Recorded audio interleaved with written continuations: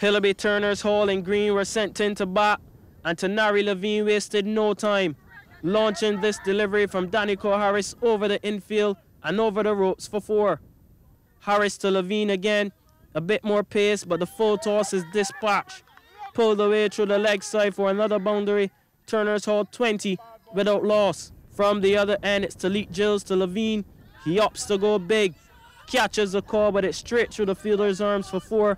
Levine survives. However, Levine didn't last much longer. Slow ball this time around, and he goes for one too many big shots. Caught at mid-on by Zakai Weeks. Godson Boyne gets the breakthrough, 30 for one. Amari Clark to Jaheim Springer. In the air for a bit, but finds the gap between the fielders. One bounce, four more. Clark to Springer again. Same result. This one is smashed down the ground. Valiant chase from the fielder, but it's another boundary.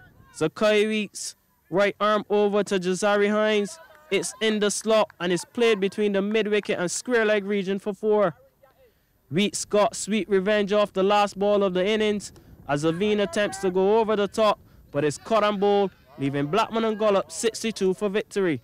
The Christchurch team were off to a nightmare start as the very first ball of the innings, Jazavi Hines has Amari Clark caught and bowled, not for one.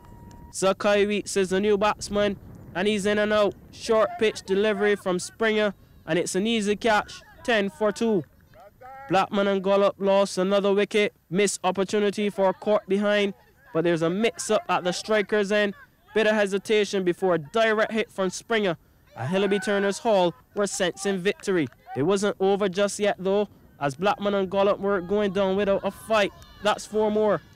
15 runs were required off the last over, but the wickets kept coming. Springer to Tanaz Sealy, and he's caught by a Johnny Maynard running in from deep mid wicket, 47 for 4.